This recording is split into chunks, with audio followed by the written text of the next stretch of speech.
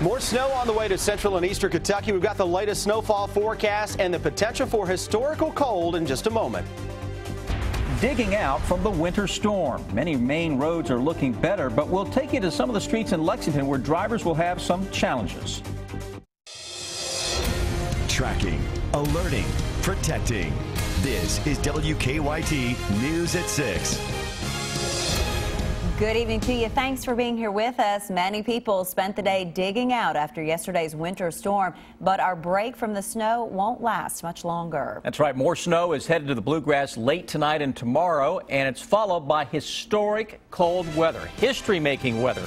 We begin tonight with Chief Meteorologist Chris Bailey on the first alert severe weather day. We just can't catch a break. No, we're not going to catch a break for a long while the way it stands now. This is one of those weeks to where you're going to remember this for years and years to come. Winter weather advisory is out for the entire bluegrass state, as you mentioned, for the potential for more snow. I think this is a widespread two to four inch snowfall coming in later tonight into tomorrow, and it will be a powdery snow that will blow around a lot as we expect winds tomorrow to gust to 30 and 35 miles per hour at times. Live first alert defender, nothing showing up across most areas now. Maybe a little snowflake coming from the clouds here into the Covington, Cincinnati area up into Dayton. Some snow showers west of Indianapolis. That's not what I'm worried about. What I'm really watching, the stuff that is developing across Kansas City into parts of Kansas. That is a potent little disturbance that is working its way on toward the east now. It's getting ready to kind of turn the corner and make its way eastbound on 64. It's an Arctic system that will, yes, unleash the uh, bitterly cold stuff behind it, but also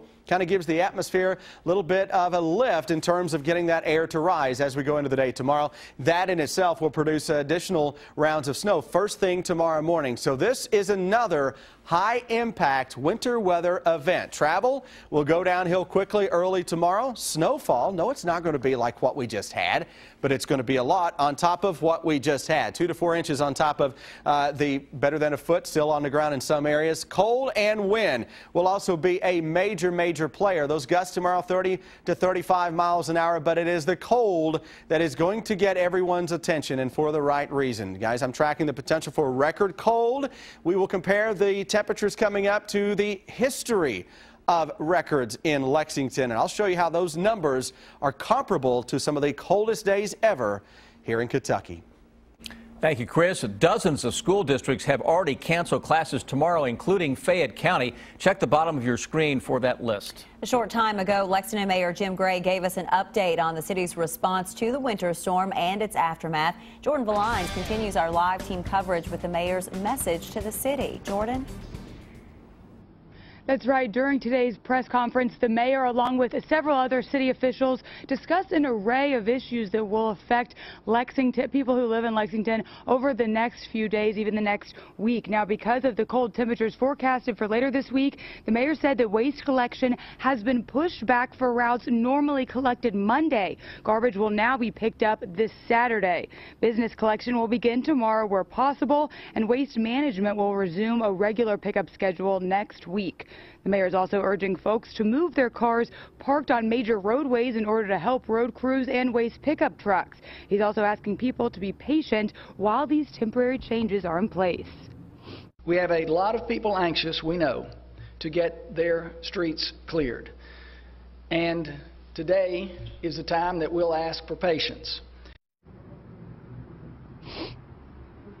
Now, city officials also wanted us to pass along the word that warming shelters are still open for folks who need it. Live in Lexington, Jordan Vallinos, WKYT. Jordan, thank you. While the main roads around Lexington are in good shape, just getting to them has been a challenge for drivers. Most neighborhood streets are still snow covered and many cars are getting stuck. Miranda Combs continues our live First Alert weather team coverage. It is tough for many folks. Miranda.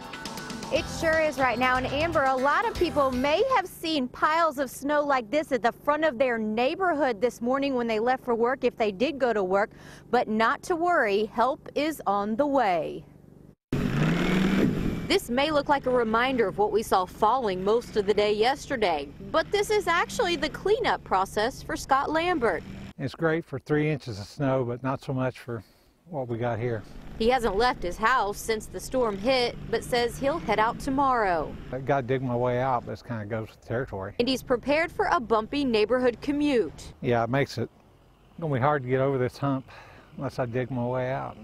Street and road crews have a good handle on the main roads, but it's touch and go for side streets and neighborhoods. Rob Allen with Streets and Roads says that's an unfortunate side effect of big snows. Big piles now line neighborhood entrances where residents are ready to exit. Once I'm out, you know, I just go to this corner and I'm practically out of the neighborhood, you know, but if I was way back in the neighborhood, I'd worry about it, so. So as cabin fever sets in and residents want out, Allen says keep in mind this cleanup will take time. I used to live in Alaska, so this isn't much snow, but, you know, but I'm not used to it anymore either, so, I mean, you know. We've noticed being out here that just in the past little bit as the sun has started to set, these side roads have gotten even more slick for drivers. It's going to take some time for road crews to get to all of these side roads, so the best advice is take your time if you need to get out on these roads. We're live in Lexington. Miranda Combs, WKYT. Yeah, patience is definitely needed in all of this. Slow down. Yeah. Yep. Well, tonight, many parking lots are just as bad as those neighborhood streets. But some businesses are doing what they can to clear the way for customers. Kristen Kennedy shows us.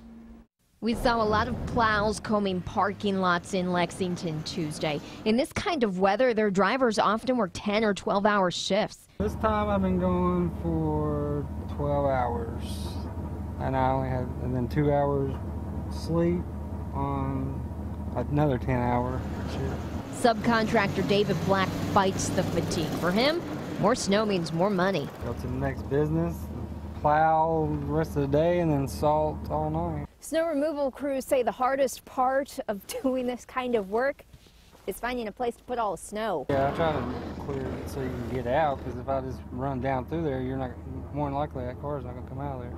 Maneuvering through the snow is an art for Black because trying to drive around parked or snowed in cars often makes a lot like an obstacle course. I mean, that's the hard part, but just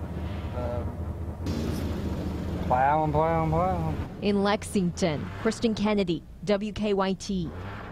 And be on alert for mounds of snow piled up outside many businesses today. Snow plowers ask that you try to park away from those mounds of snow to allow them to keep piling snow in that area if they have to.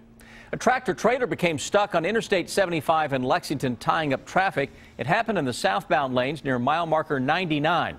Police say the truck hit a snow pile next to an embankment and was stuck.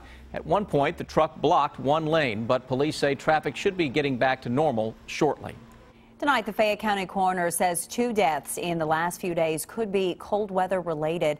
Early Sunday morning, a woman was found dead outside her apartment, and this morning, a man was found dead inside an abandoned mobile home on Loudon Avenue.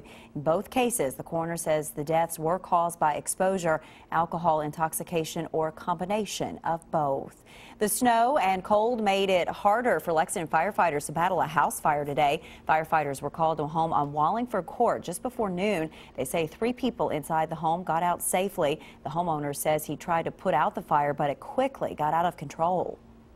And I got hit and throwed it on it. And it wasn't too bad then. And then I had a, a great big pan of water. I throwed it on it. And I went outside and got some snow, get up some snow and throwed on it. Nothing would stop it. At this point, investigators are not sure what caused the fire. In southern Kentucky, the main roads are improving tonight. Road crews worked through the night to clear snow off Interstate 75 and other major highways around Corbin. But some roads are still snow covered, especially in rural areas and in neighborhoods. Some travelers became stuck in a gas station parking lot, so workers helped them get out. There's no strangers. If you can help somebody in Kentucky, you help them. A state of emergency is still in place by the governor for many counties, also in southern Kentucky. Some people who couldn't get out of snow-covered neighborhoods in Danville received some help today from the Centre College football team. And as Phil Pendleton tells us, it happened before most people in the neighborhood were even awake. At 502 Grant Street in Danville, Susan McGilligan opened her door early this morning. It was amazing. I just had all these wonderful boys out here. A senior Centre College player decided he wanted to spend his Tuesday morning helping others. Typical of the football team and their attitudes towards life and everything that they do. So senior Alex Mattingly got his teammates to snow shovel more than 20 driveways throughout Danville. It felt good giving back, to be honest. You know, I mean, everybody likes to help everybody out. Now, I said snow shoveling, but that is not exactly entirely accurate. we didn't have snow shovels. That's right. Well, actually, three shovels for more than 20 guys. So what did they use? Tupperware lids, chairs. A guy took two dustpans and taped them on each end of a broomstick.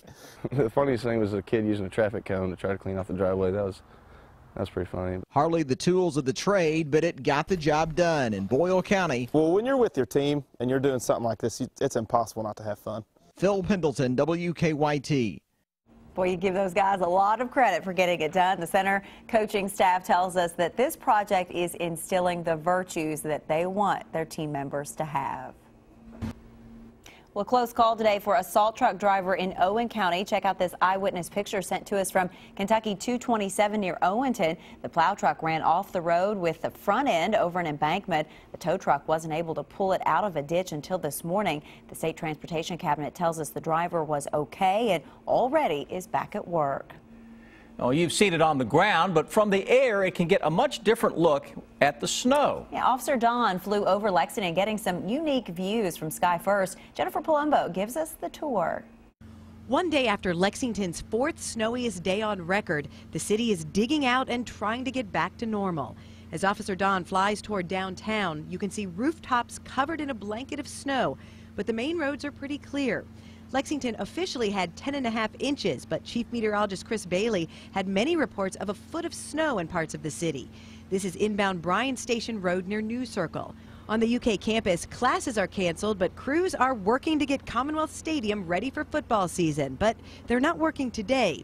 You can see a large piece of equipment on the field. The normally green field is completely white.